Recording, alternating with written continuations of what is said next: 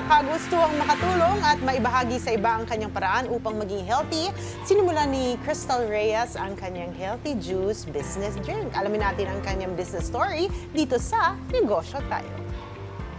Thank you. Sabi nga nila, health is wealth. Kaya naman ngayon, marami ng produktong lumalabas that can improve one's health. Dahil dyan ay isang healthy and weight management juice business ang ating pinuntahan ngayon para alamin ang kanilang sikreto sa successful na negosyo.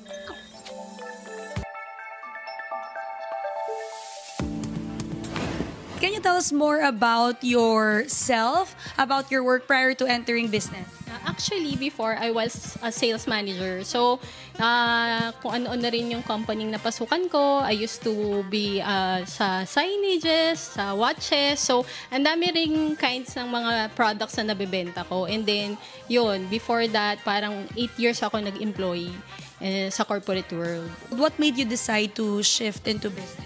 Actually, lahat naman tayo may kanya-kanya tayong gustong passion, 'di ba? Nung pinursu ko yung juicing business, talagang naisip ko na gusto ko tong gawin.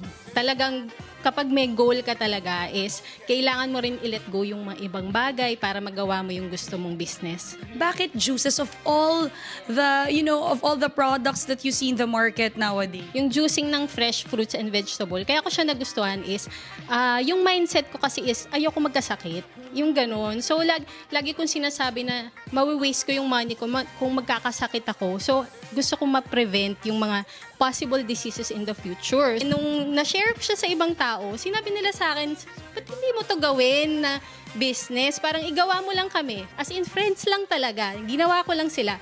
And then, they just pay me kung magkano yung nagastos ko, ganun. Doon na nag-start. And then, the rest is history. As in, yung social media, nakilala na siya. And then, yung mga clients' feedback, maganda. Kaya nagtuloy-tuloy na rin kami. So maganda kasi business plus advocacy siya in one. What sets you apart or what is your advantage over the others? Ang ginawa ko lang, pinattern ko lang doon sa kung ano yung mission ko sa business ko, which is to help others and then to be part of their lifestyle. Yung selling point kasi namin is yung being parang love your body. This is one way of like uh, rewarding yourself. What are the lessons that you have learned all throughout your business journey that you can share with our aspiring entrepreneurs out there? Number one is talagang take care of your clients. Always listen kung ano yung sasabihin nila sa'yo. Parang kahit positive, negative, take mo yon as le- learnings para i-improve yung products mo, yung business mo.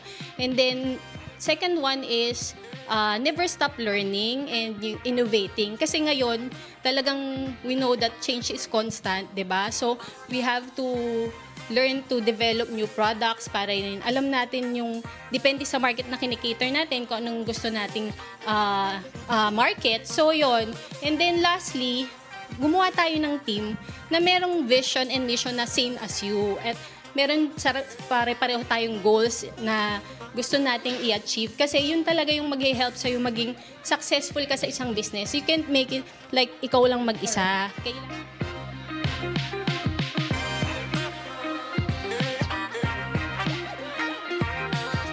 Best business strategy ay ang masiguro na satisfied ang lahat ng iyong customer. Yan ang aral na ibinahagi sa atin ni Crystal Reyes. Sa susunod na episode ay panibagong business story at business tips na naman ang ibabahagi namin sa inyo. Kaya naman tara, negosyo tayo!